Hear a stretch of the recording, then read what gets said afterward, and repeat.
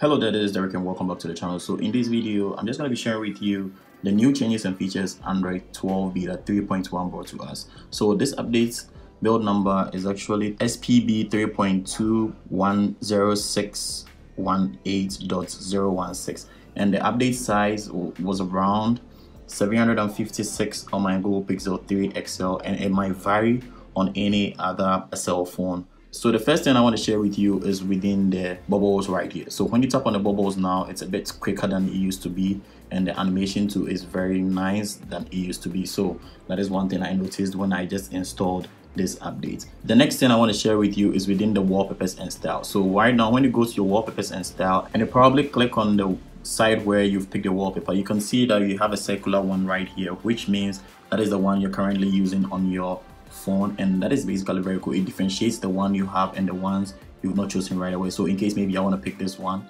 and then I just change it as my wallpaper and then I go back to my home screen and probably come back I'm just gonna see that it's gonna change into a circular form like the other one so you can see right here and the one this one is back to the square form again. I think it's very, very sweet of them. Android is really putting more work in this Android 12 updates right here. And then last thing I want to share with you, which is also a bug fix, was in the app section. Initially, when I just changed my phone into light mode, I had this one right here not changing into light mode it was stuck on dark mode still but this update has actually sorted this out and i was even shocked because it was an update size with a very very small size and you can see right here it's now changed into light mode I can switch back and you guys are gonna see that it's still gonna be there. If you never saw this, you can check out my other video, my previous video on Android bugs and problems and you're gonna see what I'm talking about right here. So you can see this right here and then when we just switch back to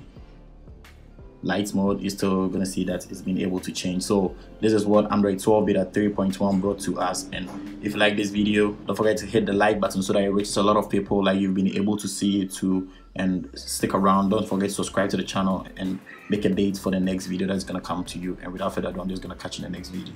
Peace